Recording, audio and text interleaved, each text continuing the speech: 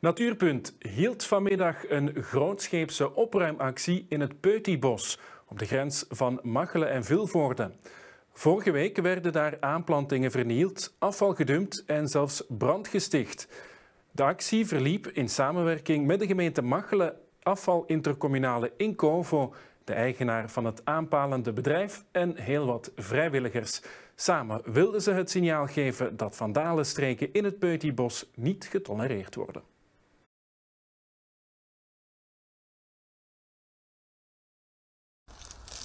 Ah, dit is een nieuwe zak. Een andere scheurte. Het Peutibos is een uniek stukje natuur op de grens van Vilvoorde en Machelen. Samen met het Floordambos in Welsbroek vormt het de meest westelijke uitloper van de Groene Vallei, een beschermd Europees habitatgebied. Maar blijkbaar is niet iedereen overtuigd van de waarde van dit bosgebied. Vorige week bleek nog maar eens dat respect voor de natuur bij sommigen ver te zoeken is.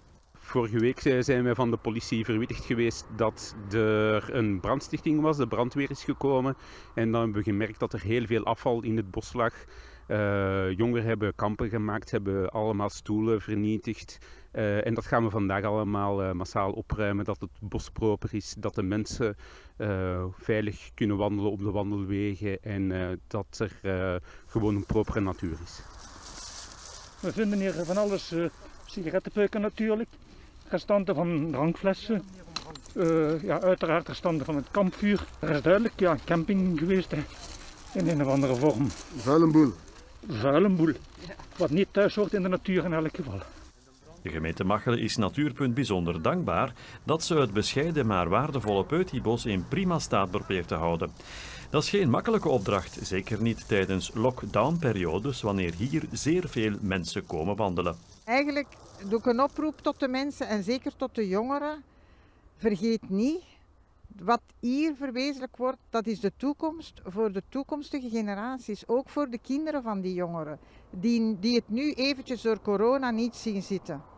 Dus daarom vind ik het als schepen van milieu zeer belangrijk dat onze gemeente, en dat is zo, daar ten volle achter staat. Het is nu lente, uh, overal is er jong en nieuw leven. Blijf alsjeblieft op de wandelpaden. Uh, respecteer uh, het niet weggooien van afval in de natuur. maak niet te veel lawaai, geniet van de natuur, maar doe het met respect voor de natuur. En dan gaan we een fantastische zomer met heel veel dieren ook kunnen beleven.